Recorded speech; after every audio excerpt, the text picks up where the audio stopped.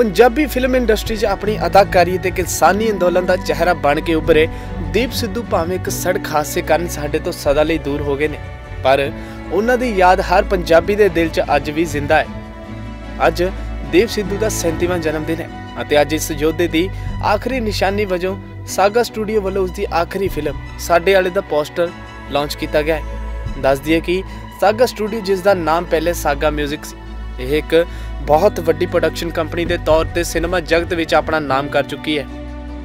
Punjabi film ਜਗਤ ਵਿੱਚ ਵੀ ਇਹਨਾਂ ਦਾ ਯੋਗਦਾਨ ਸ਼ਲਾਘਾਯੋਗ ਹੈ। ਰੰਗ ਪੰਜਾਬ, ਸਾਨੋ ਮਨਜੀਤ ਸਿੰਘ, ਗੱਦਾਰ, ਅਰਦਾਸ ਕਰਾਂ, ਨਿਧੀ ਸਿੰਘ, ਬਲੈਕ ਪ੍ਰਿੰਸ ਤੇ ਸੂਬੇਦਾਰ ਜੋਗਿੰਦਰ ਸਿੰਘ ਇਹਨਾਂ ਦੇ ਬੈਨਰ ਹੇਠ ਪ੍ਰਮੁੱਖ ਫਿਲਮਾਂ ਹਨ।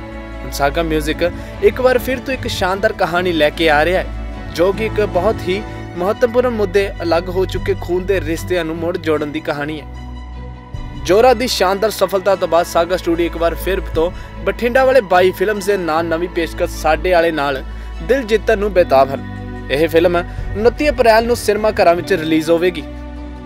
ਜਤਿੰਦਰ ਮੋਹਰ ਵੱਲੋਂ ਡਾਇਰੈਕਟ ਕੀਤੀ ਇਹ ਮਲਟੀ ਸਟਾਰ ਫਿਲਮ ਦੇ ਵਿੱਚ ਲੇਟ ਅਦਾਕਾਰ ਅਤੇ ਸਮਾਜ ਸੇਵਕ ਦੀਪ ਸਿੱਧੂ, ਗੁੱਗੂ ਗਿੱਲ, ਮਹਾਬੀਰ ਭੁੱਲਰ, ਸੁਖਦੀਪ ਸੁਖ ਅੰਮ੍ਰਿਤ ਔਲਖ ਅਤੇ ਹੋਰ ਮੁੱਖ ਭੂਮਿਕਾ ਵਿੱਚ ਨਜ਼ਰ ਆਉਣਗੇ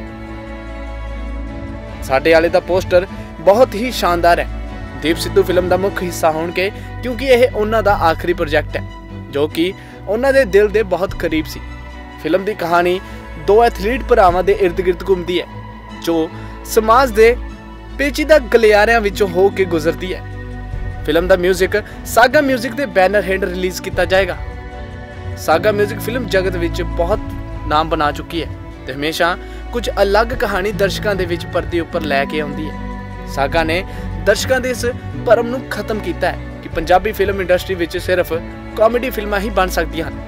ਸਾਗਾ ਸਟੂਡੀਓ ਦੇ ਮਾਲਕ ਅਤੇ ਫਿਲਮ ਦੇ ਪ੍ਰੋਡਿਊਸਰ ਸੁਮਿਤ ਸਿੰਘ ਨੇ ਦੱਸਿਆ ਹੈ ਕਿ ਫਿਲਮ ਸਾਡੇ ਸਮਾਜ ਦੀਆਂ ਘਟੀਆ ਸੋਚ ਨੂੰ ਦਰਸਾਉਂਦੀ ਹੈ।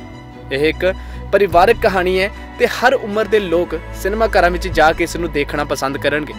ਸੁਮਿਤ ਸਿੰਘ ਨੇ ਇਸ ਤੋਂ ਇਲਾਵਾ ਦੱਸਿਆ ਕਿ ਇਸ ਗੱਲ ਨੂੰ ਮੰਨਦੇ ਹਨ ਕਿ ਖੂਨ ਪਾਣੀ ਤੋਂ ਵੀ ਗਾੜਾ ਹੁੰਦਾ ਹੈ ਤੇ ਸਾਨੂੰ ਦੁਨਿਆਵੀ ਆਕਰਸ਼ਣਾਂ ਉੱਪਰ ਉੱਠ ਕੇ ਸੋਚਣਾ ਚਾਹੀਦਾ ਹੈ। ਸਮਾਜ ਨੂੰ ਬਦਲਾਅ ਦੀ ਲੋੜ ਹੈ।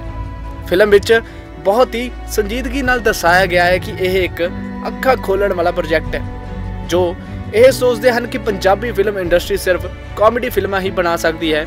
ਉਹਨਾਂ ਨੇ ਕਿਹਾ ਕਿ ਦੀਪ ਸਿੱਧੂ ਹਮੇਸ਼ਾ ਸਾਡੇ ਦਿਲ ਦੇ ਅੰਦਰ ਰਹਿਣਗੇ ਤੇ ਹਮੇਸ਼ਾ ਹੀ ਉਹਨਾਂ ਦੀ ਕਮੀ ਸਾਨੂੰ ਮਹਿਸੂਸ ਹੁੰਦੀ ਰਹੇਗੀ। ਬਿਊਰੋ ਰਿਪੋਰਟ ਫਿਲਮੀ ਤੜਕਾ।